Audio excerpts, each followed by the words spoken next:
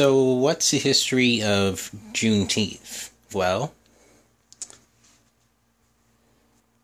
Juneteenth is the oldest nationally celebrated celebration of the ending of slavery in the United States.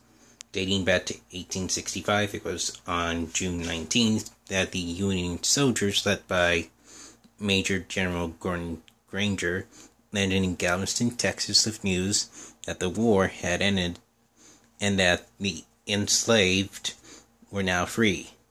Note that this was two and a half years after President Lincoln's Emancipation Proclamation, which had become official January 1st, 1863. The Emancipation Proclamation had little impact on the Texans due to the minimum number of Union troops to enforce the new executive order.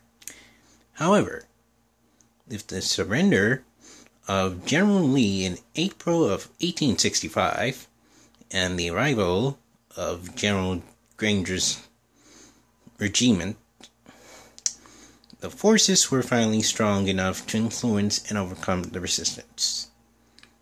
Later attempts to explain this two and a half year delay in the receipt of this important news have yielded to several versions that have been handed down through the years.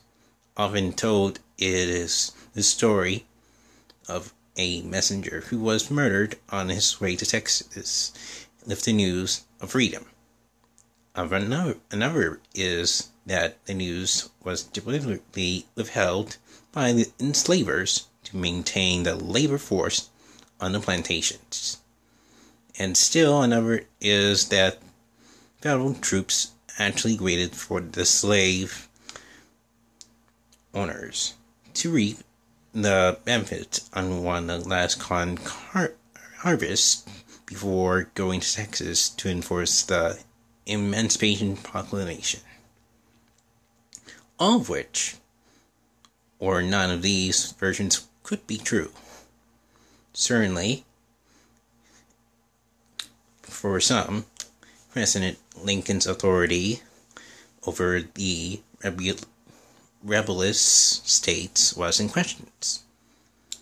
However, the reasons conditions in Texas remained, whatever the reasons, conditions in Texas remained status quo well beyond what was sanctuary.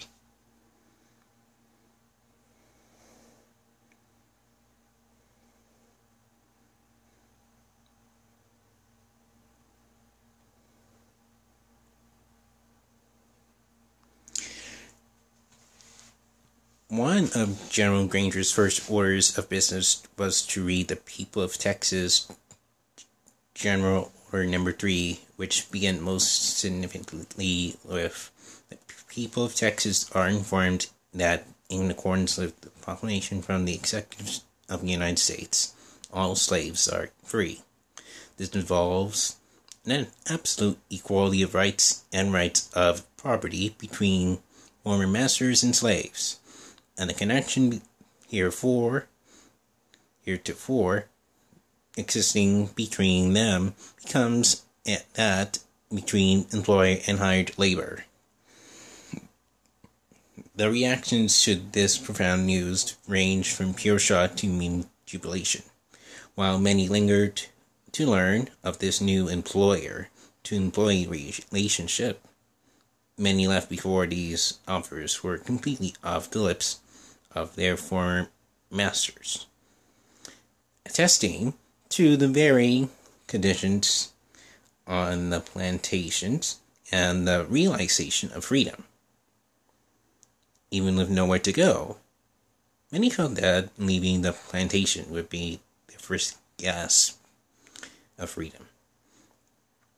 Nor was it logical destination for many, and for many, it represented true freedom, while the desire to reach family numbers in neighboring states drove some into Louisiana Arkansas, and Oklahoma, settling into these new areas as free men and women brought on new realities and challenges of establishing a heretofore non existent status for black people in America.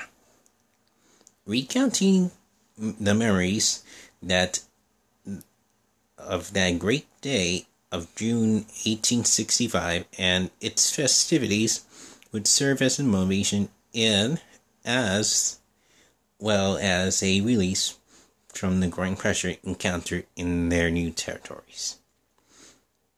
The celebration of June 19th was coined Juneteenth and grew the more participation from descendants.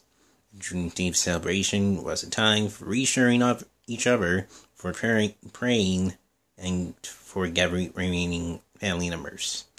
Juneteenth continued to be highly reversed in Texas decades later, with many former slaves and descendants making an annual pilgrimage back to Galveston on this date. A range of activities were provided to entertain the masses, many of which continue in tradition today. Rodeos, fishing, barbecue, and barbecuing, and baseball are just a few typical Juneteenth activities you may witness today. Juneteenth almost always focuses on education and self improvement. Thus, often guest speakers are brought into are brought in the and the elders are called upon to recount the events of the past. Prayer services were also major on these celebrations. Certain foods became popular and subsequently synonymous with Juneteenth celebrations, such as strawberries, pop, soda pop, more traditional, and just as the popular was the barbecuing, through which Juneteenth participants could share in spirit and around aromas that their ancestors, newly emancipated African Americans, would have experienced during their ceremonies. Hence, the barbecue pit is often established as the center of attention of Juneteenth celebrations. Food was unmeant because everyone prepared for a special dish. Meats such as lamb, pork, and beef were not available every day, were brought on this special occasion. A true true team celebrations left visitors well satisfied and with enough conversations to last until the next. Dress was also an important element in early Juneteenth costumes and is often still taken seriously, particularly by the direct descendants who can make the connection to this traditional tradition's roots.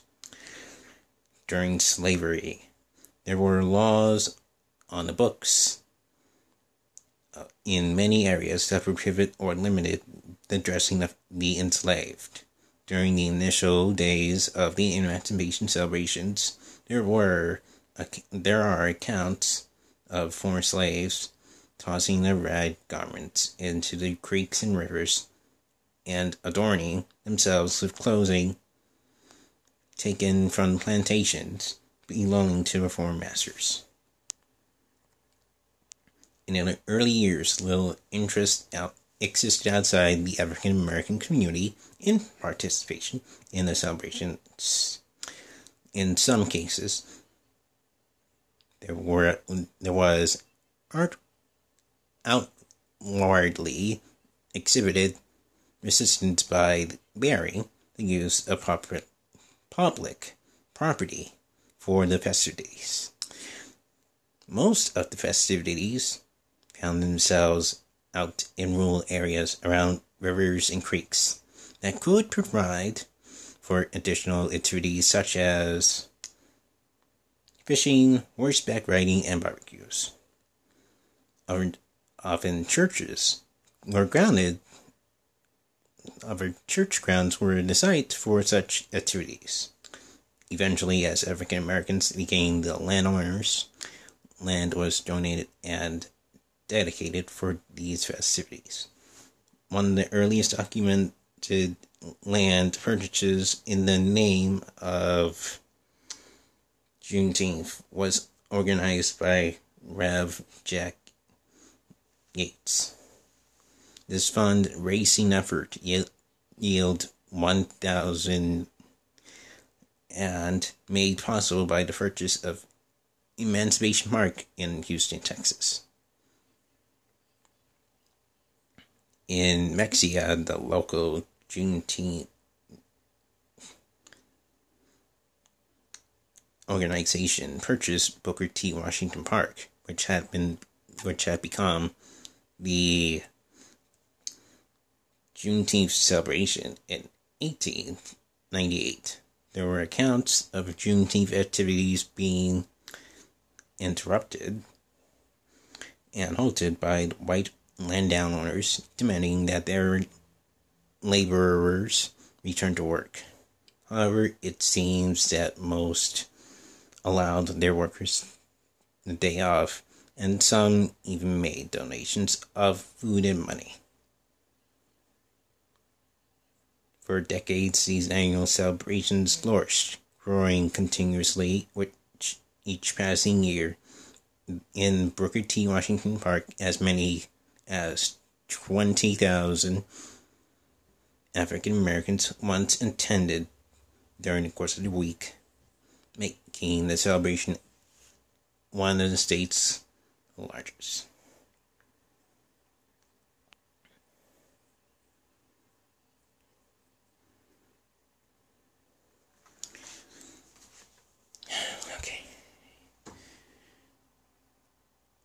Economic and cultural forces led to a decline in Juneteenth activities and participants beginning in the early 1900s. Classroom and textbook education, in lieu of a traditional home and family taught practices, stifled the interest of youth due to less in emphasis and detail on the lives of former slaves. Classroom textbooks for acclaimed Lincoln Emancipation Proclamation of January 1st, 1863, as the date signaling the ending of slavery, and mentioned little or nothing of the impact of General Granger's arrival on June 19th. That depression forced many people off the farms and into the cities to find work. In these urban environments, employers were less eager to grant leaves to the celebration to celebrate this day. Thus, unless June 19 fell on a weekend holiday, a weekend or holiday, there were few participants available. July 4th was already the established independence holiday, and a rise in patriotism patriotism steered more toward this celebration. The civil rights movements of the 50s and 60s yielded both positive and negative results for the Juneteenth celebrations, while it pulled many of the African American youth away into and into the struggle for racial equality. Many linked these struggles to the historical struggles of their ancestors. This was evidenced by students demonstrators involved in the Atlanta Civil Rights Campaign in the early 1860s, who wore Juneteenth freedom buttons. Again in 1868, Juneteenth received another strong resurgence through the Poor People's March to Washington, D.C. Reverend Ralph Aberney calls for people of all races, creeds, economic levels, and professions to come to Washington to show support for the poor. Many of these attendees returned home and initiated Juneteenth celebrations in areas previously absent of such activities. In fact, of the largest Juneteenth celebrations found founded after this march are now held in Milwaukee and Minneapolis. On January 1st, 1918, 1980, Juneteenth became an official state holiday through the efforts of Al Edwards, an African American state legislator. The successful passage of this bill marked Juneteenth as the first emancipation celebration granted official state recognition. Edwards has since actively sought to spread the observance of Juneteenth all across America. Today, Juneteenth is enjoying a phenomenal growth rate within the communities and organizations through the country. Institutions such as the Smithsonian, the Family Ford Museum, and others have begun sponsoring Juneteenth Center activities. In recent years, a number of local and national Juneteenth organizations have arisen to take their place alongside older organizations with all the missions to promote and cultivate knowledge and appreciation of the African American history and culture. Juneteenth today celebrates African American freedom and achievement while encouraging continuous self development and respect for all cultures as it takes on a more national symbolic and even global perspective the events of 1865 in Texas are not forgotten, for all the roots tie back to this fertile soil from which a national day of pride is grown. The future Juneteenth looks bright as the number of cities and states creating Juneteenth committees continue to increase. Respect and appreciation for all differences grow out of exposure and working together. Getting involved and supporting Juneteenth celebrations creates new bonds of the spirit of a friendship, a friendship and understanding among us. This indeed brightens our future, and that is the spirit of Juneteenth.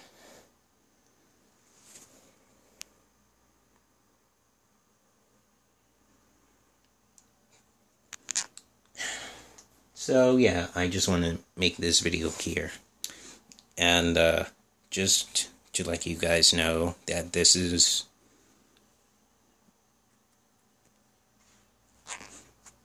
important because Juneteenth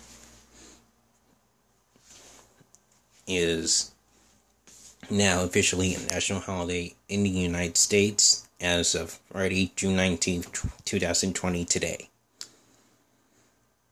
It was just approved by the government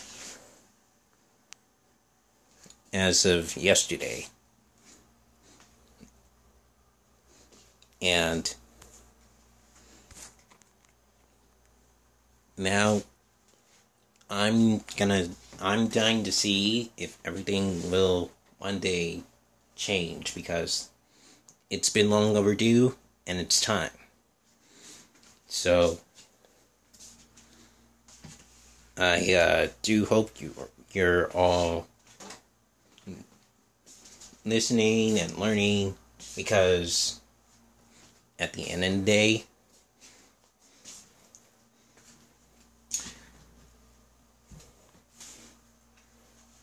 nobody is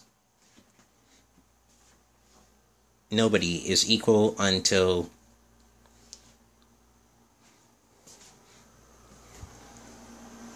We all are. Until the black community is has the same equal rights.